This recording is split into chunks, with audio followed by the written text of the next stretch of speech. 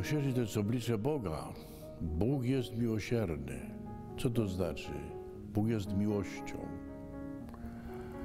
A miłość skierowana do człowieka jest miłosierdziem. Dlatego zwracamy się do Boga jako do Ojca Miłosierdzia. Nieraz mówił Jan Paweł II, miłość miłosierna. To znaczy miłość Boga w stosunku do człowieka staje się miłością miłosierną. Bo człowiek potrzebuje miłosierdzia od Pana Boga, ponieważ jest słaby, jest grzeszny, a Bóg przebacza. On, jak mówił wiele razy ojciec święty Franciszek, on się nie męczy miłosierdziem. Człowiek się męczy tym zwracaniem się do miłosierdzia, do Pana Boga.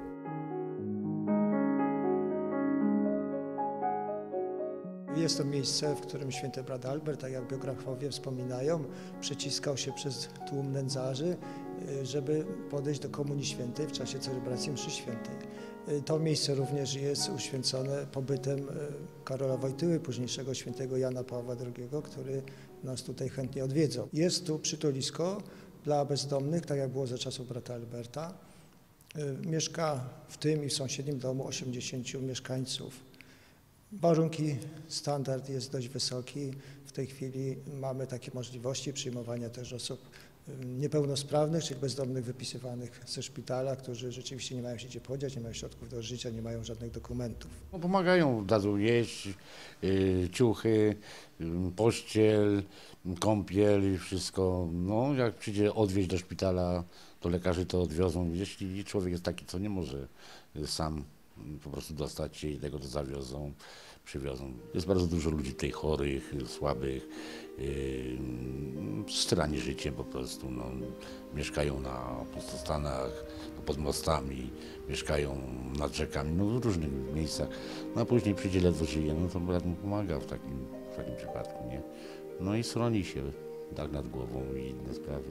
Odmroziłem nogi, bo spałem też pod drzewem. Ze szpitala właśnie przywieźli mnie tutaj, załatwili mnie w szpitalu, pani socjalna i, i zostałem tutaj, czekam na protezy, na to wszystko, bo załatwiam w międzyczasie. A gdyby nie to miejsce, no to spałbym pod drzewem, no i, i co bym miał? Tu wypić nie wolno, bo to jest jedna sprawa. Po drugie, bracia pomogą. Jeśli ktoś ma silną wolę potrafi się zaprzeć i tego, no to kto jest silny, młody, zdrowy, prawda, to szuka pracy, idzie do pracy. Jest tu możliwość przebywania kilka dni, kilka miesięcy, a niektórzy z panów mieszkają z nami kilka lat. Mamy też drugi dom w Krakowie, taki dom socjalny, gdzie ci, którzy przebywają tutaj jakiś okres czasu, y, już próbują rozpocząć swoje życie y, o własnych siłach i tam przechodzą, tam dostają jakby swoje mieszkania i tam muszą już sobie sami ugotować, zapłacić rachunki za gaz, za prąd. Jest też od kilku lat takie nowe dzieło, Farma na wsi, gdzie niektórzy, którzy lubią zwierzęta, lubią kontakt z przyrodą, mogą przebywać, bo wielu z tych panów, około 50%, pochodzą z wiosek, z małych miast i miasto nie zawsze jest ich naturalnym miejscem pobytu. Święty Barnabet powiedział, nie pytamy skąd trafia, ani jak odchodzi, dokąd idzie.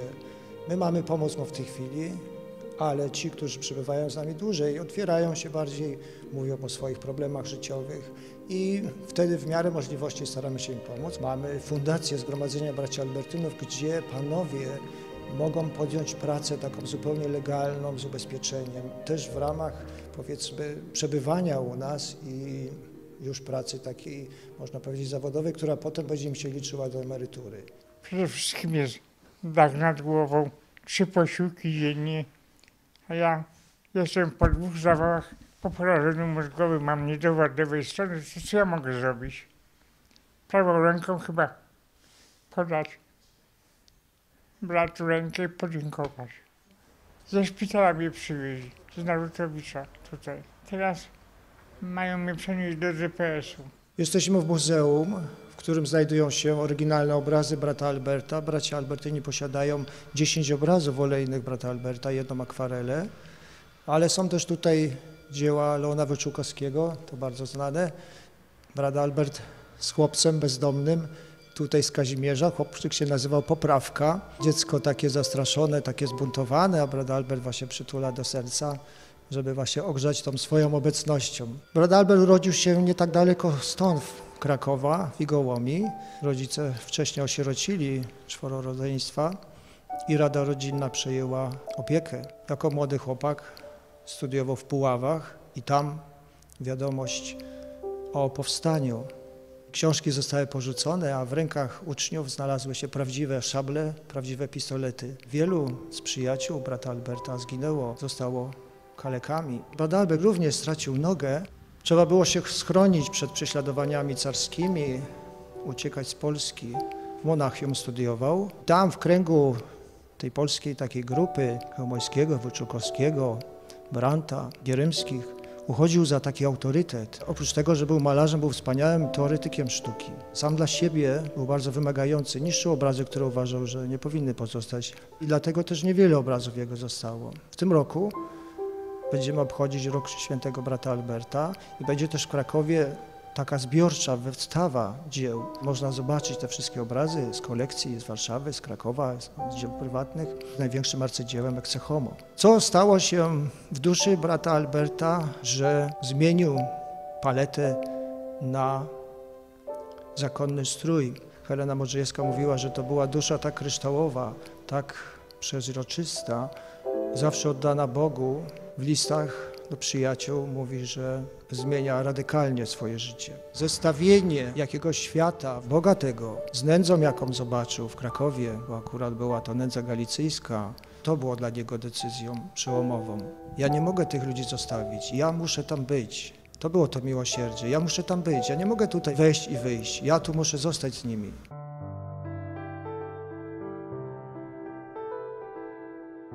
Znajdujemy się w przytulisku świętego brata Alberta dla bezdomnych kobiet. Przytulisko to jako zgromadzenie sióstr albertynek posługujących ubogim prowadzimy od e, 5 września 1990 roku, gdyż wtedy była możliwość reaktywacji takich przytulisk, które zakładał święty brat Albert u końca XIX wieku. Przekształcał ogrzewalnie na przytuliska, czyli miejsca, gdzie każdy potrzebujący, najbardziej biedny, opuszczony, mógł przyjść i znaleźć przytulenie do Boga, do drugiego człowieka, wyjście z swojej skrajnej nędzy, biedy i przywrócić się normalnemu życiu w społeczeństwie. Przytulisko prowadzimy w myśl miłości i miłosierdzia w duchu naszych świętych założycieli, brata Alberta i jego wiernej kontynuatorki, błogosławionej Matki Bernardyny. Jest to miejsce, gdzie każda kobieta potrzebująca, która znalazła się w jakiejś skrajnej sytuacji kryzysowej, biedy społecznej choroby, nieporadności społecznej, może przyjść i znaleźć miejsce, opiekę dla swoich najbardziej podstawowych bytowych potrzeb. Siostry, w moim przekonaniu, są najbardziej kompetentnymi osobami i powołanymi do tego, żeby nam pomagać, więc, y, więc zwracamy się z prośbą o pomoc. I okazuje się, że siostry nas przyjmują z otwartymi ramionami. Jest dla nas miejsce, otaczają nas opieką, dostajemy wszystko, co jest najważniejsze: byt, wyżywienie. Większość pań ma bardzo podobne problemy. Po jakimś czasie stajemy się jedną wielką rodziną, jednością, a w międzyczasie nasze problemy jakoś się wyjaśniają i poprawiają. Też dzięki siostrom, które nam w tym wszystkim pomagają. Nie tylko, że opiekują się nami tu na miejscu, ale również na zewnątrz pomagają w naszych sprawach. Wydajemy dwa razy w tygodniu od początku. No na początku wydawałyśmy jeszcze produkty unijne, no było około 250 ludzi, ale nie mamy warunków lokalowych. I zaprzestałyśmy wydawać y, produkty unijne, ale chlebek pozostał nadal. Tygodniowo przytulisko płaci za 100 bochenków. One biorą bardzo niską cenę. Oprócz tego dają nam 50 bochenków chleba zawsze zupełnie gratis. Ten chlebek jest świeży, dobry do spożycia. Biedacy się cieszą, że go otrzymują. Dodajemy tylko chlebek, bo przytulisko no, nie stać na nic więcej. No czasem ktoś przywiezie, jest taki pan Adam, to nam margarynka przywozi, czasem 10 kilo cukru nam przywiezie, to te naj, naj, najbiedniejsi dostają. Tacy jakieś babuleńki, takie 80 lat, około 90 i dziadusz, dziaduszkowie. albo bardzo chorzy ludzie. Jestem tu dosyć długo, blisko 10 lat, ale wcale się frekwencja nie zmniejsza zapotrzebowania na pieczywo, raczej się zwiększa. Czyli ja nie wiem, czy bardziej są ludzie biedni. Nikomu nie odmawiamy. Nikomu. Czasami tu nie mamy, to pytamy w kuchni, czy czasem coś nie zostało. Także staramy się każdemu, każdego zadowolić, żeby każdy odszedł od nas, nie był głodny, ale żeby miał tu kromkę chleba. Brat Albert tu jest obecny. Myślę, że ci ludzie nie tylko potrzebują tego chleba tak fizycznie, że tego bochenka chleba, ale czasami potrzebują uśmiechu, naszej dobroci, y, rozmowy, czasami potrzebują y, po prostu się wypowiedzieć. I staramy się właśnie tak pomagać też w ten sposób. Jak nie możemy zaopatrzyć w chleb tyle, ile potrzebują, no to takim właśnie dobrym słowem czy uśmiechem i to naprawdę ludzie odchodzą wtedy zadowoleni i szczęśliwi. Staramy się tutaj realizować to y, przesłanie brata Alberta. Trzeba być dobrym jak chleb, no i też no jak ten chleb podawać, żeby on zawsze był podawany z miłością, z taką dobrocią, z uprzejmością. tak jak człowiek skrzywdzony, wszystkiego się boi. I siostry w tym bardzo pomagają. Po prostu podpowiadają, żeby się nie bać, żeby pomodlić się, że to dużo daje i naprawdę to dużo daje. Człowiek zaczyna ufać pomału, stopniowo pierwszej kolejności siostrą, później współmieszkanką. Nie czuję się tej samotności takiej. Ja nie przypuszczałam, że tak się moje życie będzie toczyło. Przez 40 lat byłam bardzo szczęśliwym człowiekiem. Ale że źle zrozumiałam małżeństwo, to po prostu z tego wszystkiego mam tylko najlepsze dzieci i wnuki. A resztę muszę się nauczyć żyć. Przy Tulisku jestem ponad 20 lat. Ja jestem aktorem. Towarzyszę paniom w poszukiwaniu zagrania tej głównej roli, jaką one mają do zagrania w ich własnym życiu. Każda z nich jest jak główny bohater opowieści jeszcze niedokończonej. Odzyskują wiarę i odwagę, mogą wziąć swoje sprawy w swoje ręce. Byłam w ogóle bez domu, bez środków do życia, także no niestety, gdyby nie siostry, y, pomoc duchowa, przyjęcie w ogóle do domu, pomoc prawna w tym momencie i, i każda porada u sióstr i rozmowa, to, y, to nie wiem, czy bym nie skończyła, nazwijmy to po imieniu, nawet y, samobójstwem. Opiekę świadczymy całodobowo, dom jest zawsze czynny, w nocy też prowadzimy dyżury. Jest to takie holistyczne ratowanie człowieka w jego różnorodnej, kryzysowej sytuacji. Codziennie jest sprawowana Eucharystia przez ojców zmartwychwstańców. Przez 18 lat sprawował tu taką charyzmatyczną posługę kapłańską świętej pamięci ojciec Henryk Worsowicz, który odszedł do Pana. Codziennie jest głoszona homilia, sprawują sakrament pokuty i pojednania dla wielu pań. Jest to właśnie takie miejsce spotkania się z Bogiem często po wielu, wielu latach. Cotygodniowe są katechezy głoszone przez klerków jezuitów. Też posługują ojcowie jezuici z racji okolicznościowych rekolekcji w Adwencie, w Wielkim Poście. Też służą taką indywidualną pomocą, jeśli zachodzi taka potrzeba. Jest to taki bardzo ważny wymiar przy całościowym pomaganiu tym ludziom, począwszy od naj bardziej podstawowych, wiadomo, potrzeb bytowych, zabezpieczenia dachu nad głową, żywienia. Też przy pomocy wszystkich sióstr i tego, co tutaj jest też organizowane, spotkań wychowawczych, różnych szkoleń, też katechez, które siostry przeprowadzają i też takiej, można powiedzieć, terapii zajęciowej, czyli wdrażania ich w całokształt prac domowych. Przy pomocy wielu osób bardzo życzliwych, zaangażowanych wolontaryjnie świadczymy właśnie pomoc medyczną, lekarz internista, psychiatra, psycholog, pracownik socjalny. Dwa razy w tygodniu grupy terapeutyczne, grupy wsparcia dla osób uzależnionych i dla wszystkich pań w przytulisku w oparciu o Słowo Boże, o Ewangelię. Wybrałam sobie przytulisko po śmierci brata do sióstr tutaj, do przytuliska na ulicę Malborską. Na ile mi jeszcze Pan Bóg pozwoli.